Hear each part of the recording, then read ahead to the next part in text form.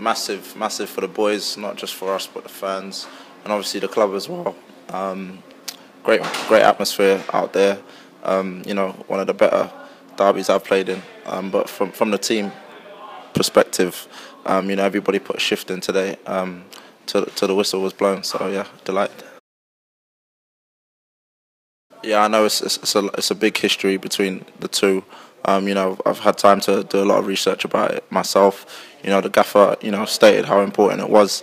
Um, so I think the boys knew that all week, um, and, and this has been the, the big game all season. So, uh, you know, we, we, we come away with three points and um, just look forward to Tuesday now. You know, it's massive for us. This will give us a big boost. Everybody's bubbly, everyone's buzzing in the changing room. So we'll go back home now and, and recover and prepare for Tuesday. So delighted, yeah.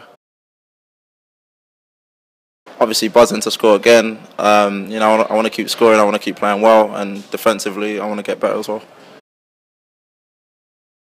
They got behind us from the minute we walked off the, the coach. Um, I think that's important because we'll take that onto the pitch, we'll take that on board, and it's only going to make us stronger. But their support was uh, excellent today.